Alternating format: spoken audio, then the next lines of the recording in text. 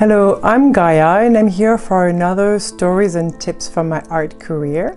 Today I wanted to tell you a story from when I just started. I spent a whole winter going all over my uh, sketchbook and picking 10 sketches that I felt were good enough to turn into big paintings. So I made, uh, you know, after a few tries, I had 10 professional, I thought they were professional paintings. I got them scanned professionally. And then I printed them, made little greeting cards, packed them with an envelope. I took my car and I decided to go around Toronto to drop in uh, a whole bunch of stores that I had uh, kind of looked up and I thought they might be interested with what I'm doing. The first store I stopped in was a meditation store and the owner greeted me. He had time. We sat at the back of his store. He made tea. He took each of my greeting card and went one by one and was really looking. I had a little write up I wrote about the art.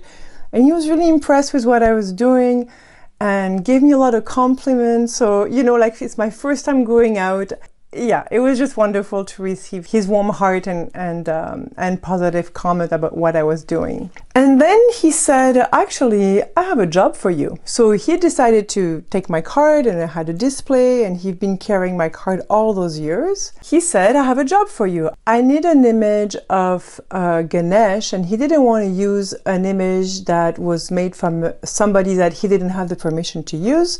So he wanted his own image that he would own and uh, by the way, one day I'll talk to you about copyright and permission to use images and so on. That was my first commission work. And when I went out, what I want to say here in this video is that when I went out, I had no idea what I was doing. I was just had the idea of selling my art on little greeting cards.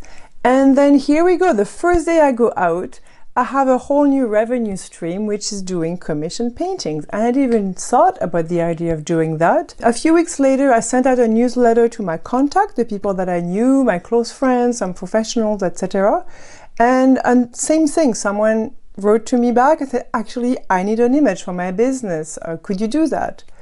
So this story is kind of to say that Nobody's gonna buy your art if you don't put yourself out there. And it's vulnerable, it takes courage. You have to do it and you have to trust that you make the first step, the universe makes the other step.